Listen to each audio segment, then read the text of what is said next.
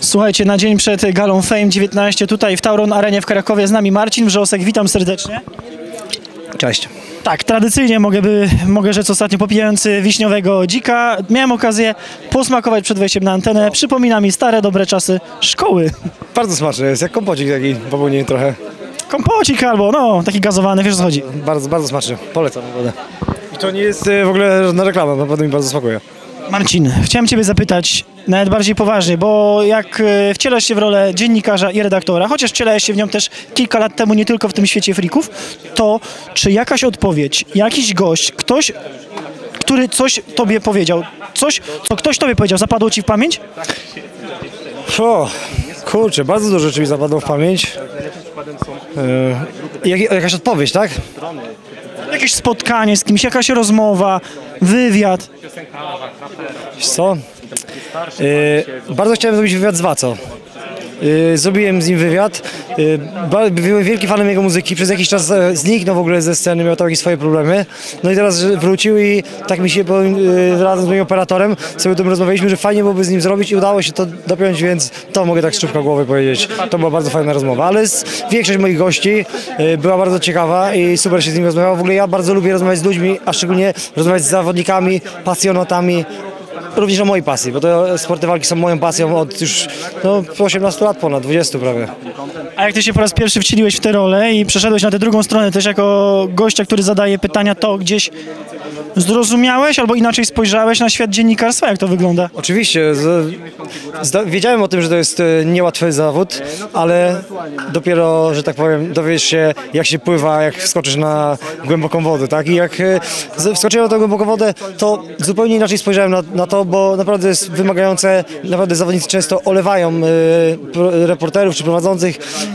Też się y, po tym przekonałem, parę osób y, bardzo się spóźniło na rozmowy, czy nawet nie przyszła oczywiście, miała dobre usprawiedliwienie, nie będę tutaj oczywiście szejmował tej osoby, ale, ale tak, w ogóle bardzo, bardzo, bardzo dużo się uczę jako prowadzący kanał Sixpack, czy prowadzący rozmowy. Bardzo fajna, fajne zajęcia. Muszę stwierdzić, nie wiem czy ty z tym się zgodzisz, ale czasami nawet doprowadzenie do rozmowy jest łatwiejsze niż sama rozmowa. Oj tak. Wiesz, kiedy jest. Naj... Sam dobrze wiesz o tym. Najciężej jest rozmawiać z zawodnikami, którzy są skrępowani i odpowiadają bardzo krótko. Yy, mogę to tutaj przyda... dać przykład na przykładach woto... e, zawodników wotorek. Są bez kamery, no goście po prostu ekstra się rozmawia z gośćmi. Yy, mają bardzo dużo do powiedzenia, ale jak się włącza kamera, to są, wiesz. I jest wtedy, masz trzyzdaniowe pytanie, to się pyta tak. I wtedy masz taki, hmm, kurczę, muszę bardzo szybko wymyślić kolejne. Tak, w ogóle z mojej perspektywy to wygląda tak, że często najciekawsze rozmowy to są te rozmowy, które są przeprowadzane zanim włączysz czerwony przycisk red. Oczywiście, oczywiście. Oczywiście, ale wiadomo, co się dzieje off camera, to zostaje off camera.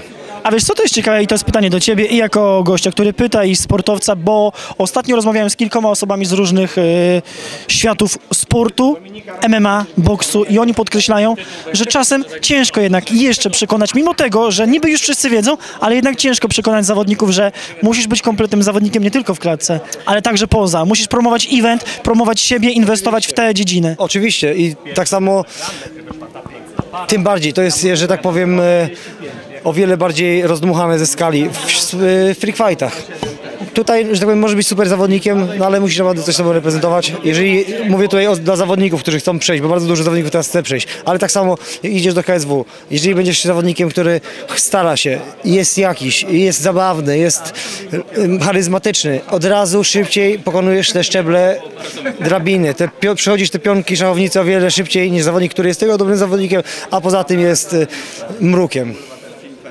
Oczywiście, jeżeli jesteś mrukiem, spraw tak jak Kabib. Kabib nie był człowiekiem, który dużo mówił i krzyczał, czy obrażał swoich przeciwników, ale był tak charyzmatyczny, że ludzie po prostu kochali go oglądać i nawet jak powiedział send me location, dwa słowa, trzy czy trzy, po prostu stało się to takim wiralem i no, po prostu trzeba być charyzmatycznym zawodnikiem.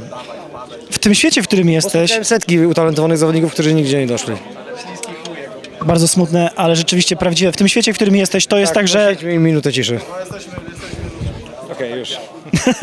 Bo ja bym to zrobił, pewne 60 sekund. Wiem, wiem, bo to 8 minut. E, tutaj gdzieś jest ta rozpoznawalność, są pieniądze, ale zupełnie na poważnie chciałem cię zapytać, czy ten świat, w którym jesteś także teraz, ale generalnie sportu i bycie na świeczniku, to ma swoje cienie? Kurczę, wiesz co, ciężko było powiedzieć. Na pewno, na pewno e, ciężkim momentem jest dla każdego, jak wylewa się na ciebie jakiś hejt. E, ja nauczyłem się nie, e, jak to powiedzieć, nie uzależniać mojego nastroju od tego, co mi piszą w internecie. Były wzloty, były upadki, ludzie mnie lubili, ludzie mnie nienawidzili.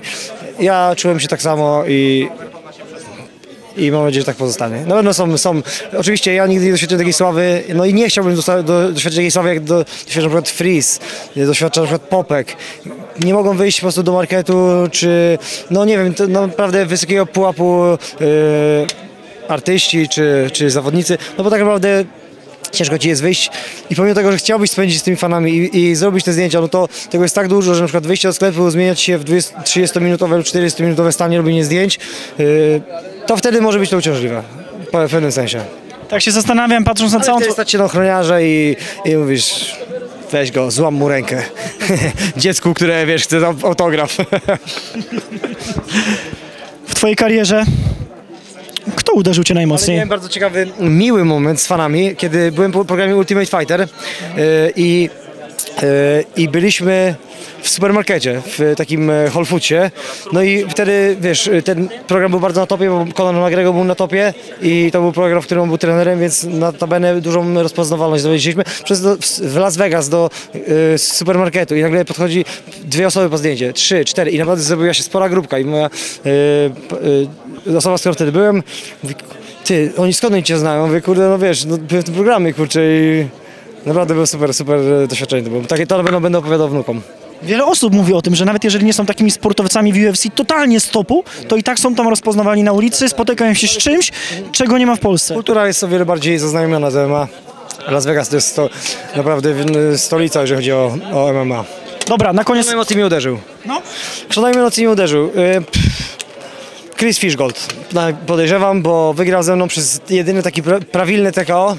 W mojej karierze to było... Kurde, lekko z 10 lat temu. Mm, Wrzucił ostatnio e, walkę i sobie o tym przypomniałem i nawet mu skomentowałem. Napisał, że walka z byłym mistrzem KSW, z zawodnikiem Ultimate Fightera, obecnie moim dobrym kumplem, bo faktycznie utrzymujemy kontakt. Próbowałem nawet go kiedyś wkręcić do KSW. Warto sobie się tym zawodnikiem zainteresować, bo naprawdę jest mocnym ko kocem. Był, ale teraz nadal jest, tylko mówię, no, e, rzadziej walczy, e, ale jest bardzo dobrym zawodnikiem. Ostatnio walczył z Adrianem Kempą. Adrian Kempa z nim wygrał przez kopnięcie na, chyba w korpus, kopnął go w korpus, połamał mu żebra, ale naprawdę bardzo mocny zawodnik. Adrian Kempa też jest mocny. Więc. Bardzo mocne. Yy, chciałem też Cię na koniec zapytać o tę walkę, bo muszę o to zapytać też, co się dzieje wokół niej. Wszyscy już o tym mówili, ale generalnie ta atmosfera, która wokół niej się wytworzyła, te emocje, związane oczywiście przede wszystkim z Piotrem i tym wszystkim dookoła niego, to jest dla Ciebie komfortowa sytuacja, czy ten natłok emocji to jest problem? Wiesz co, no ja jakby nie podchodzę em- emocjonalnie do tego problemu, bo to nie jest y, tak naprawdę moja sprawa. Ja y, wypowiadałem się tylko o, tym temacie, ponieważ y, ta sprawa stała się publiczna, ludzie mnie o to pytali, y, więc czułem się po prostu e, w odpowiednim miejscu, żeby się wypowiedzieć, szczególnie przed walką z Szeligą, szczególnie, że y, biorąc pod uwagę to, jak on się wypowiadał o ludziach przy każdym ich potknięciu, więc stwierdziłem, skoro ty, wo- wiesz, kto wo- wojuje mieczem, od miecza ginie. Dlatego dzisiaj musiałeś z tym komornikiem też pileczkę na koniec wbić. Nie musiałem, aczkolwiek chciałem. I o to chodziło. Wspólnie z Marcinem Wrzoskiem zapraszamy jutro na galę Fame 19 w Tauron Arenie. Tak, wykupić, jeżeli e, MMA ro- e, fan sportu ma, tak, ma reflink, olejcie ich reflink, kupcie z mojego. E, ja e, przekazuję cały procent e, zarobiony z sprzedaży pay-per-view na Dios, żeby pomóc pieskom i, i kotkom. Dzięki bardzo. Dzięki.